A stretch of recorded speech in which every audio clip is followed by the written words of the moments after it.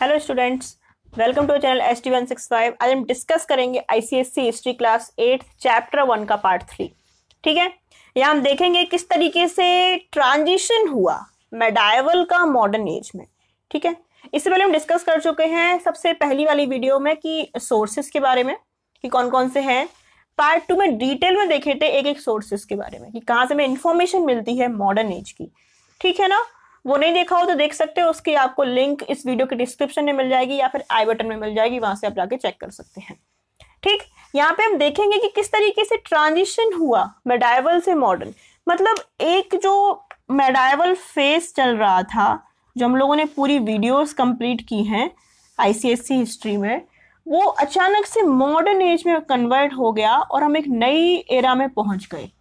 ठीक? तो ये कैसे पॉसिबल हुआ और इसके पीछे कौन कौन से फैक्टर थे? क्यों हम जो जो टाइम आ, आ, आ रहा है जो हम पढ़ेंगे उसको मॉडर्न एज कहा जाता है। क्यों उसको मेडाइवल एज नहीं कहा जाता?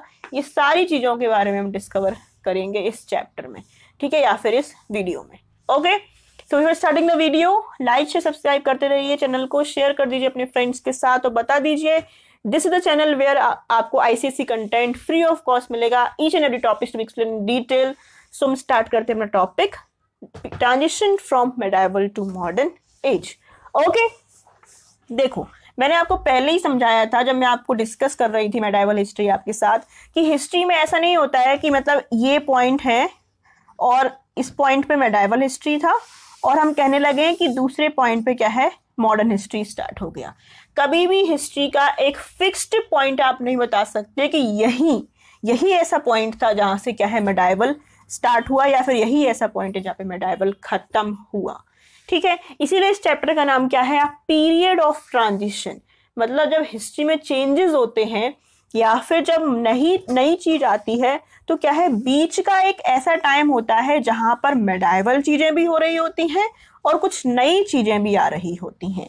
ठीक है? तो इसी ट्रांजिशन में धीरे धीरे कब ये मेडाइवल से मॉडर्न एज आ गया उसी को कहा जाता है transition from medieval to modern age ठीक है? हम जानते हैं इसको विद इन वर्ल्ड परस्पेक्टिव कि किस तरीके से मेडाइवल से क्या है मॉडर्न एज में क्या है चेंजेस आए। ओके सो अब देखते हैं हम लोग किस तरीके से क्या है ट्रांजिशन हुआ। सबसे पहले अगर आपको याद हो या फिर आपने कहीं पढ़ा हो कि जो एंशियंट सिविलाइजेशन थी, जो मतलब हमारा बिल्कुल, जो एंशियंट एरा था प्राचीन आप सिविलाइजेशन कह सकते हो, यूरोप में वो क्या थी? रोम एंड ग्रीस की थी। रोम एंड ग्रीस सिविलाइजेशन वहाँ पर थी और इस सिविलाइजेशन ने क्या है? फाउंडेशन बनाया था किसका? यूरोपियन कल्चर का।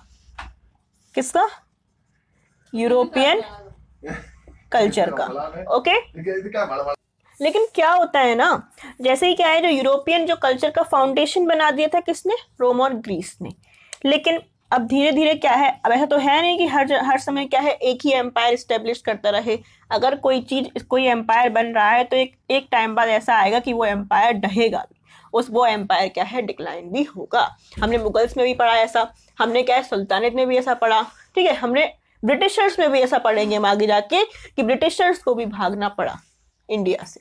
है ना? तो मतलब कोई चीज़ स्टेबल नहीं है। अगर एक चीज़ आज पॉजिटिव है तो वो चीज़ नेगेटिव भी हो सकती है और अगर आज एक चीज़ नेगेटिव है तो इसका मतलब ये नहीं है, वो चीज़ हमेशा नेगेटिव ही रहेगी। वो पॉजिटिव भी होगी। ठीक तो ऐसा ही था। रोम और ग्रीस का एम्पायर चल रहा था, लेकिन ऐसा है, ऐसा तो है नहीं कि ज़िंदगी भर एक ही चीज़ चल रहा है। फिर हर समय, हर साल, हर वर्ष, हर सेंचुरी एक ही काम होता रहे। तो क्या है, कुछ समय बाद क्या है रोमन एम्पायर डिक्लाइन हुआ।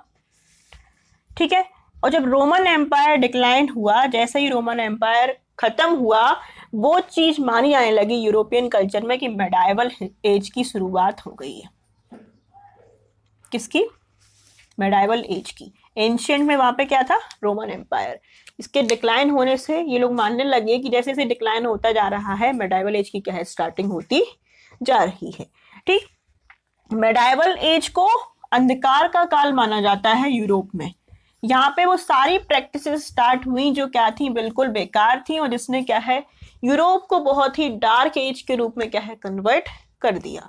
जैसे कि यहाँ पे एक सबसे इंपॉर्टेंट जो फीचर स्टार्ट हुआ, जो मेडाइबल पीरियड की क्या है इंपॉर्टेंट कैरेक्टरिस्टिक मानी जाती है यूरोपियंस में, वो है फ्यूडलिज्म क्या है? फ्यूडलिज्म वेरी इंपॉर्टेंट ये क्या है इंपॉर्टेंट कैरेक्टरिस्टिक थी कहाँ पे? मेडाइवल एज की कहाँ पर? यूरोप में। ठीक? किस तो फ्यूडलिज्म होता क्या है? फ्यूडलिज्म में क्या होता है? जैसे कि किसी के पास मान लो बहुत ज़्यादा लैंड है, जो इंडिया में हम लोग क्या बोलते हैं? जमींदार। जमींदार वो लोग होते हैं जिनके पास क्या है? बहुत सारी ज़मीन होती है, इसीलिए उसको बोलते हैं जमींदार। ठीक? ऐसे ही क्या है? बहुत सारे मान लो लोग होते थे वहाँ पर यूरोप में। उनके पास काफ़ी लार्ज अमाउंट में क्या है? लैंड होता था। अब इसका इतना लैंड है, वो खुद तो इस पर खेती करेगा नहीं ना? वो क्या है, लोगों से खेती करवाएगा। तो क्या है स्मॉल स्मॉल पीसेस पे क्या है, लोगों से खेती करवाता था और उनके अंडर में ये लोग काम करते थे, जिसको क्या बोला गया है, किसान मान सकते हम लोग किसान बोलते हैं तो उसको बोलते थे वहाँ पर फ्यूडल्स किसको? जो काम कर रहे हैं वर्कर्स इनके यहाँ काम कर रहे हैं। बहुत ज़्यादा एक्सप्लॉइट किया जाता था इन वर्कर्स को, बहुत ही बुरी तरीके से ट्रीट किया जाता था। और मतलब एक इस जैसे कि ये है ना, इतना ही लैंड पे क्या है, इनका इनका अधिकार नहीं होता था, सिर्फ़ एक काम करते थे इनके अंडर में। ठीक है, जब चाहे निकाल दिए जाए, और जैसे कि मान लो ये लैंड जो बेच दिया, मान लो कोई फ्यूडियल है तो उसके साथ साथ जो इस पे काम कर रहे हैं, वो भी बेच दिए जाते थे। और जो लैंड ओनर है, वो उनका मालिक बन जाता था। ये पूरी प्रथा थी जिससे क्या है फ्यूडियलिज्म बोलते हैं, जिसमें क्या है फ्यूडियल्स काम करते थे, जो लैंड लॉर्ड थे उनकी क्या है, ज़मीन पर। तो ऐसी जो प्रथाएँ हैं अंधकार वाली जो प्रथाएँ हैं, आप किसी को बंदी बना के टाइप मान लो बंधु मजदूरी करवा रहे हो, और उसको छोड़ ही नहीं रहे हो एक्सप्लॉइट कर रहे हो, और उस लैंड को किसी को आप बेच रहे हो लैंड तो बेचने की एक चीज़ है। उसके साथ साथ जो इंसान काम कर रहे हैं, उनको भी बेच दे रहे हो। ठीक तो ये प्रथा क्या कहलाती थी? फ्यूडलिज्म ये इंपॉर्टेंट कैरेक्टरिस्टिक्स है कहाँ का? मेडाइवल एज का यूरोपियन में यूरोप एज में, ठीक? इसके साथ साथ क्या है? अब ये क्या है? इस वजह से जो ये प्रथा चलने लगी तो क्या है? थॉट्स और आइडियाज़ ये क्या है? थॉट्स और आइडियाज़ फ्री फ्लो नहीं होने लगे। देखो, एक होता है कि आप अपने मन से कुछ भी कह पाओ, अपने मन से क्या है? डिसीज़न ले पाओ। लेकिन जब ये सारी प्रथाएँ आने लगी तो बहुत सारे लोग क्या है, अपने थॉट्स को एक्सप्लेन नहीं कर पाए। हिंड्रेंस आने लगी और एक डार्क एज के रूप में क्या है कन्वर्ट होने लगा। ओके इसके साथ साथ क्या है सोशल और कल्चरल डेवलपमेंट में भी बहुत ज़्यादा दिखते हैं। वहाँ पे क्या है क्रिश्चियन क्रिश्चियन लोग बहुत ज़्यादा रहते हैं। क्राइस्ट जो लोग हैं चर्चेज वहाँ पर बहुत हैं। और जैसे यहाँ पे अपने यहाँ मोस्टली हिंदू कल्चर है अपने तो मतलब बायोडाइवर्सिटी ये सभी लोग हैं लेकिन मैक्सिमम तो पॉपुलेशन क्या है? हिंदूज है। ऐसी वहाँ पे मैक्सिमम पॉपुलेशन क्या है? क्रिश्चियन है। तो क्रिश्चियन के जो प्रीस्ट होते थे जो अपने फा, जो फादर बोलते हैं यहाँ पे जो अपने पुजारी या फिर मौलवी कहते हैं या फिर सिख में जो अपन लोग कहते हैं ग्रंथ साहिब ऐसे यहाँ पे कौन थे प्रीस्ट थे?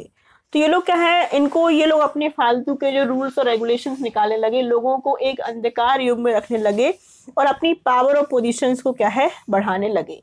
सो परिस्टिशियंस की तरह बिहेव करने लगे, अंधविश्वास फैलाने लगे, लोगों के अंदर मतलब डर का माहौल बताने लगे और अपने क्या है, ये स्ट्रांग होते गए। तो ये भी क्या है इंपॉर्टेंट कैरेक्टरिस्टिक्स क्या होती है, किसकी? मेडाइवल एज की। दो हम लोगों ने पढ़ा, एक फ्यूडलिज्म और एक ये ग्रोथ ऑफ़ क्रिश्चियन एरा जिसने क्या है, लोगों के दिमाग को बिल्कुल बंद कर दिया और एक मोनोपोली स्टेब्लिश हो गई किसकी? चर्च की या फिर पीस्ट की। ठीक? लेकिन धीरे धीरे क्या हुआ? मैंने क्या कहा? कोई भी चीज़ स्टेबल नहीं है। अगर एक चीज़ बढ़ रही है तो निश्चित है वो चीज़ एक जग, एक दिन डिक्लाइन होगी ही। और अगर एक चीज़ डिक्लाइन हो रही है तो निश्चित है वो चीज़ बढ़ेगी भी।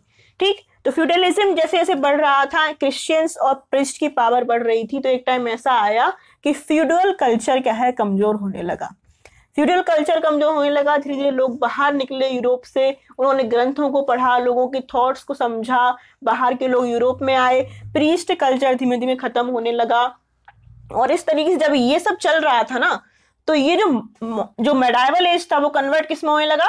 मॉडर्न एज में ठीक है तो हमने तीन फ़ेज़ देख लिए एंशियन टू मेडाइवल और मेडाइवल टू मॉडर्न एज। और मॉडर्न एज की शुरुआत जो मानी जाती है यूरोपियन, वो मानी जाती है रेनेसा से। किससे? Renaissance so will discuss what is the meaning of renaissance renaissance होता क्या है? किस तरीके से प्रोग्रेस हुई?